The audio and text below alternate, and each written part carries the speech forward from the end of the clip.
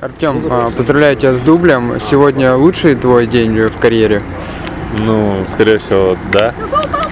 Потому что забил ну, два мяча за основную команду. Ну, то есть, ну, хотя не в официальном матче, конечно, но все равно приятно, то, что забил два мяча хорошей команде, команда ФНЛ играет, то есть, и идет в середине таблицы, то есть, очень рад. Вот так. Ты вчера присоединился к главной команде. В связи с этим, может, какой-то у тебя серьезный настрой сегодня был? Ну, я бы не сказал, что настрой какой-то серьезный был. Настрой, как всегда, был обычный, то есть выхожу на каждую игру, как на, на любую другую, на соперников не смотрю. Не было. Что тренера говорили а, перед матчем тебе лично? Ну, чтобы больше цеплялся за мячи, навязывал борьбу защитники. То есть можно было не просто то, что если открываюсь, то ставлю игрокам, которые лицо на меня набирают, в принципе, ну и забить.